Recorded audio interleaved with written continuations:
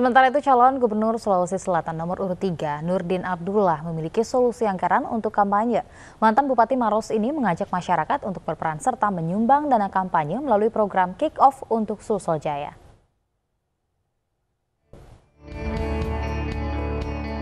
Menjadi calon kepala daerah yang akan mengikuti kontestasi pemilu membutuhkan biaya yang cukup besar. Salah satunya adalah anggaran yang digunakan untuk kampanye. Namun calon gubernur Sulawesi Selatan nomor urut 3, Nurdin Abdullah, punya cara sendiri untuk mengatasi masalah ini. Mantan Bupati Maros ini mengajak masyarakat untuk berperan serta menyumbang dana kampanye melalui program Kick-Off untuk Sulsel Jaya. Fundraising ini kita ingin investasi masyarakat, ya. Jadi ada partisipasi masyarakat terhadap perjuangan kami.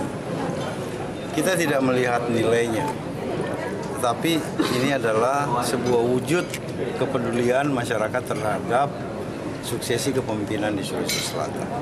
Dalam kesempatan ini juga, Cagup Nurdin Abdullah turut menyaksikan proses transaksi melalui ATM setelah melengkapi formulir yang disediakan.